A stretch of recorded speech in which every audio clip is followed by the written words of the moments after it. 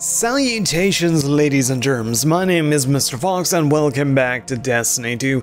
And today we will be looking at the brass attacks, the surprisingly new weapon that was added. I know, seems like all we've been getting is D1 weaponry lately, but we have a new sidearm, which has arrived with the battlegrounds. It has 20 in the magazine, 325 RPM, reload speed, stats.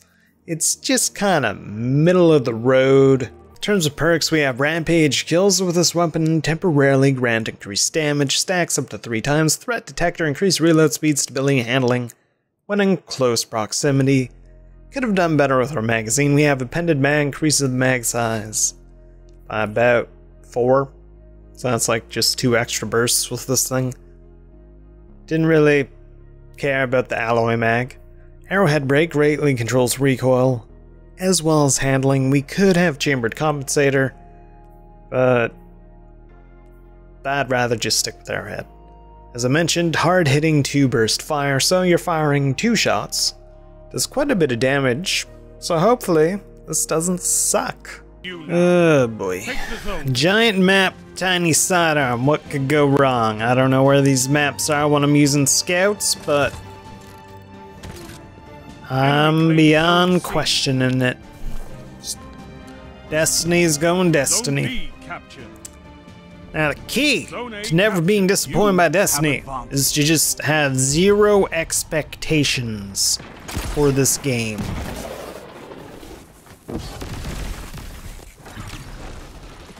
Because if you expect, like, don't expect anything. That's the best advice I can give. You Otherwise, you're gonna get let down, disappointed, and left wondering where did it all go wrong. And I can tell you, it's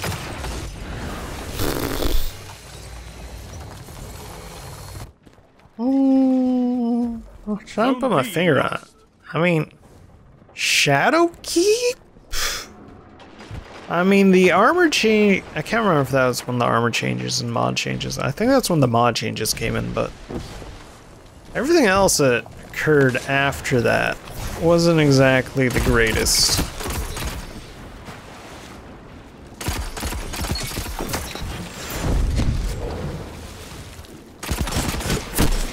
Now, can you. What the hell, Luna?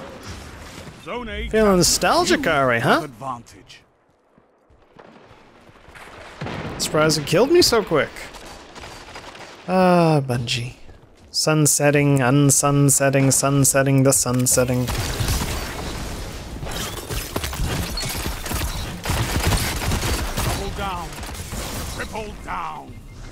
Now, it would have been cooler if I did that and didn't die. But can't fire fast enough.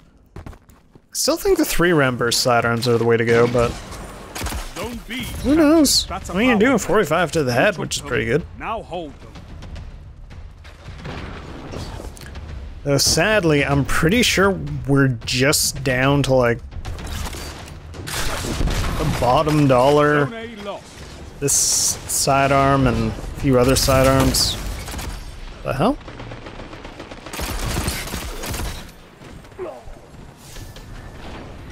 Somebody made an oopsie.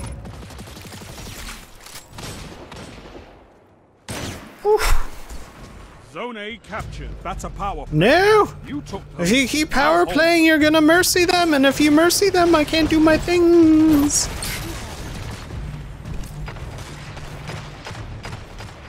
Please cap the zone. That's way too much damage.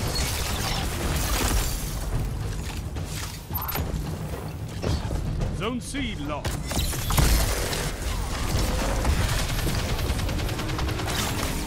I hate that super so much.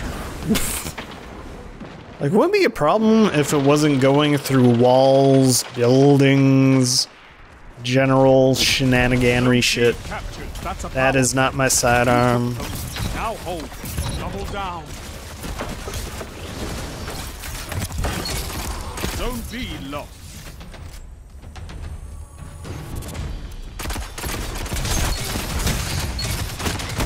Down. This is amazing.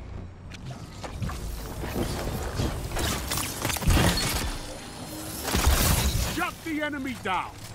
Enemy. Yeah, I'm getting the nerf. I, I I get why that's being nerfed. Like a lot of those scenarios, I wouldn't live if I wasn't on stasis.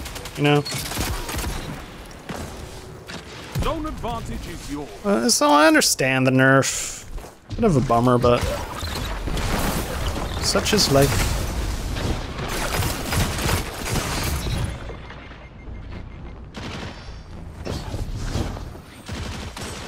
They have advantage. Now, if I can keep my engagements around this area where it's like close quarter ish,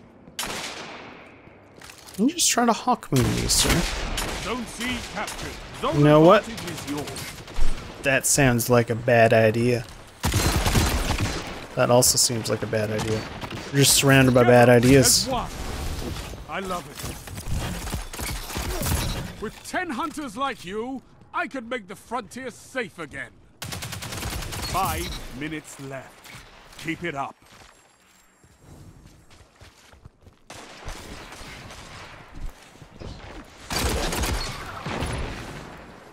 Why'd you gotta murder him before I can murder him? Huh?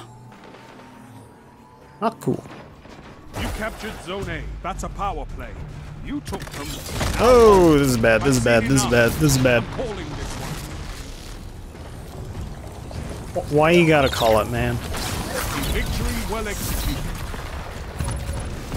I'm pretty sure we were close to a we ran, you bastard. Maybe?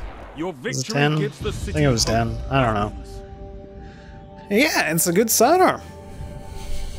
And stasis is dumb. But it's a good sidearm. No, I, it would be cool if control would show me the streak I was on. You, you know, just just saying. That, that would be something. That would be something. And Mr. Fox, where's the enthusiasm for the game? I, it's just been shot out of me in the back of the head. Execution style. You know, it's just. Like a lot of the guns they added were just guns we've experienced already from D1, and I get why you bring it back, you know, fan nostalgia and all, but. Man. How many guns are actually new did they add?